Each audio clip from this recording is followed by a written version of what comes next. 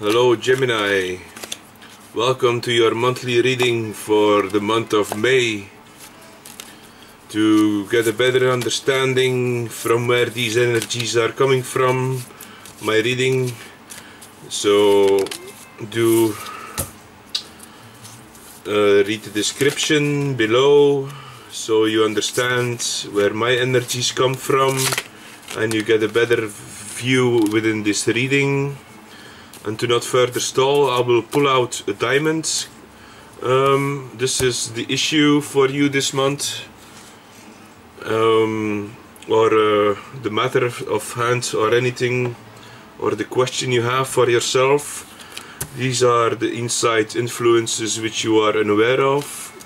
These are the influences from outside you are aware of uh, this is what is needed for a solution to the question or the matter and this is what resolves uh, or comes clear when the solution is uh, coming over uh, clear or something.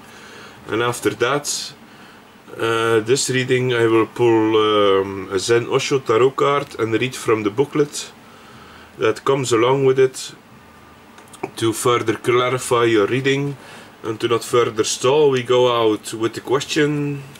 So, question for you, Gemini, is the Eight of Swords, meaning you have um, some st still some um, unresolved or invisible cage of you of your. So, the Suit of Swords in this deck means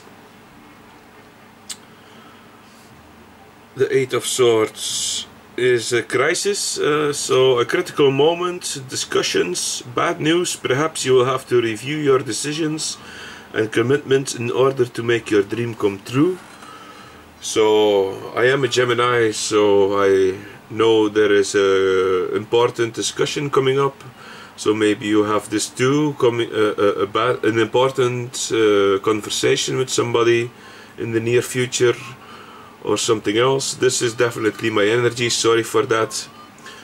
Um, but so uh, to not stall further, let's continue. So you have an influence which you are unaware of is the death card and the death card is all about change. So the change, be willing to change your mentality and your habits in order to make your dream come true. If one road leads to nowhere, take another one so I am definitely taking another road with do, starting these readings. These are my first readings. So Gemini you are also starting something new. Sorry for that. You are also starting something new and the influence you do are aware of is the, is the, the excuse me brain fart. It's the knave or the knight of pentacles. So it's all about uh, ju uh, not judgments, excuse me, it's all about uh, coming, uh, oh, excuse me, uh, being a student, instruction and meditation, intellectual work. So definitely need to improve on uh, using my uh, communication skills as a Gemini. So definitely do some more student work. I will definitely have to do that on the tarot readings. So this is so suiting me if you want your dream to come true act cautiously. So I will definitely keep that in mind. And what is needed for a solution is the world the world card and it comes in reverse. I don't really look at reverse or not so this card also came in the reverse. So the world card is completion in some way Fulfillment. Soon you will be faced with a series of favorable circumstances that will finally make your dream come true, fulfilling all your hopes and aspirations. So that is a, a, a good sign card that uh, you will, if you continue on the path of contemplation and uh, change and seeing your invisible hindrances, excuse me, you will definitely fulfill your uh, life goals. So the solution that comes clear when you persist in those is um, the Bachelor uh, in this card, and that is the Knight of Wands. So the Knight of Wands is a fiery energy and I will read it out. Firstly, The Bachelor. In order to make your dream come true, you will have to make a quick decision concerning a change. Potential help from a person outside the family. So, and for Gemini, the point of focus with this Osho Zen Tarot card, I will quickly draw uh, if a card comes up with shuffling. So, the point of focus, focus that will reveal you to paradoxes. Uh, I do, this is the card presenting itself, it's politics. So I will not stall and go to the so you here let's see the politics card. You see the snake and the snake is uh, clouded. Uh, and in brown and you see like a face mask and a guy hiding from behind it.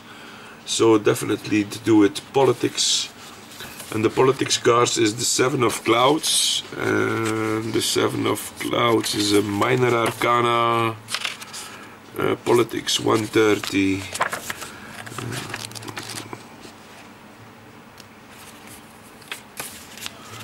Do you recognize this man? All but the most innocent and sincere of us have a politician lurking somewhere in our minds. In fact, the mind is political.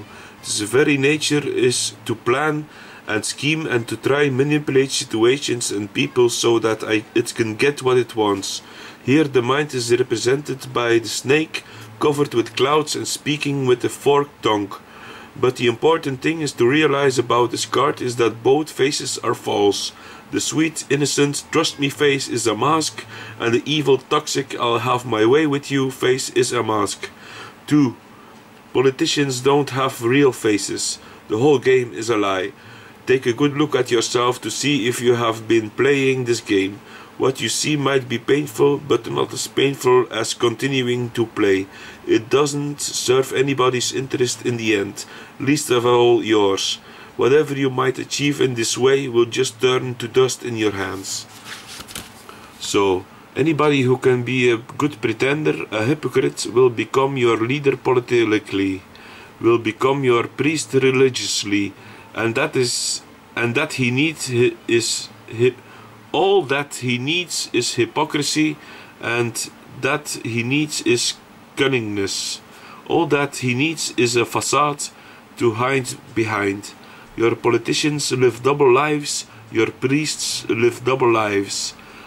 One from the front door, the other from the back door, and the back door life is their real life.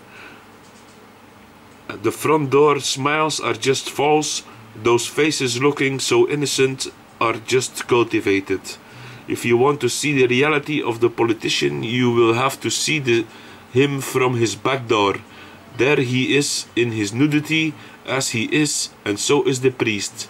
These two kinds of cunning people have dominated humanity, and they found out very early on that the, if you want to dominate humanity, make it weak, make it feel guilty, make it feel unworthy, destroy its dignity, take all glory away from it, humiliate it, and they have found such subtle ways of humiliation that they don't come in the picture at all.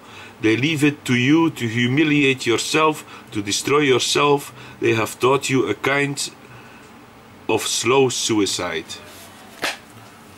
Wow. Well, Gemini and myself a perfect reading to end here and definitely if your point of focus is politics and uh, to resolve issues then uh, yeah it says enough and I will need to read that again for myself thanks for watching